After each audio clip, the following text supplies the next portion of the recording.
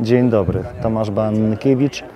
Jestem ogrodnikiem z gmina Wieniawa, powiat Przysucha. Prowadzę gospodarstwo sadownicze na powierzchni e, 40 hektarów. Główna produkcja jabłko deserowe. No cóż, no mamy problem i ten, i, te, i ten problem nie jest rozwiązywany, tylko ten problem z roku na rok narasta. W mojej branży w 2014 roku weszło embargo na e, produkty mojej produkcji e, po- pod kątem Rosji, e, związane z wybuchem wojny na Ukrainie. E, I teraz jest tak, e, z roku na rok było gorzej. E, Utraciliśmy najlepsze rynki zbytu na, na wschodzie, co, co, co zaskutkowało zachwianiem, zachwianiem kondycji gospodarstwa dzięki sprytnej operatywności e, i pracowitości w mojej rodzinie jakoś to ciągniemy, ale nie ma żadnych rewelacji. Dobre czasy e, były do 2014 roku.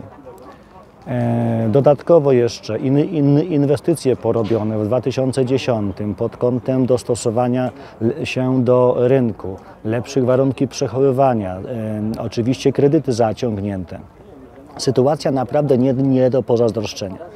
Efektem tego wszystkiego jest to, że e, produkcja e, nadal jest, e, zachwiana w tamtym czasie nadal jest, ale, ale niestety ko- koniunktura nie jest wes- wesoła. E, W związku z tym duży znak zapytania, co robić dalej.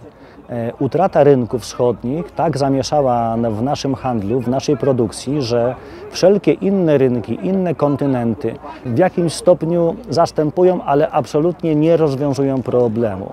W tym momencie, niestety, jako gospodarstwo duże, produkcja na poziomie 1,5 tysiąca ton jabłka deserowego i więcej, zaczynam ograniczać tą, tą produkcję. Nie sposób, jest, nie sposób jest produkować na dawnym poziomie, nie mając y, pewnych twardych rynków sprzedaży. E, I, i, i, najgorsze jest ryzyko, które my ponosimy, producenci, bo musimy zainwestować pieniądze e, w infrastrukturę. e, Na każdy hektar jest to nakład na poziomie 120-150 tysięcy złotych.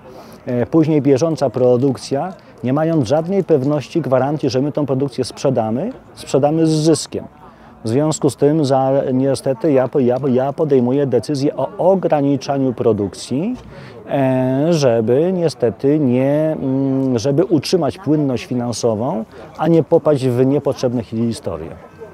Protesty są absolutnie wskazane, absolutnie niezbędne, tylko powiem szczerze, mnie bardzo głęboko martwi e, sytuacja ro, rolników, e, producentów zbóż, gdzie kompletnie są, uważam, niedoceniani. E, Mało tego, e, widzę, że albo nie ma, albo jest za mało działań ze strony rządu. Dlaczego? Dlatego, że e, zboże o niskiej jakości, wyprodukowane absolut, absolutnie w standardach, których produk Polska produkować nie może, to zboże wchodzi na polski rynek.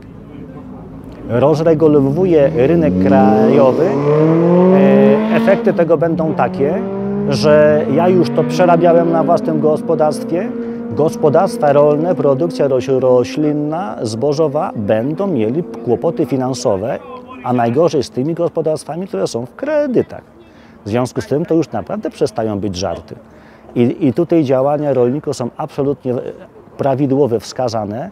Dlaczego? Dlatego, że nie ma konkretnych rozwiązań rządowych, jak ograniczyć, jak, jak e, opanować tą, tą sytuację.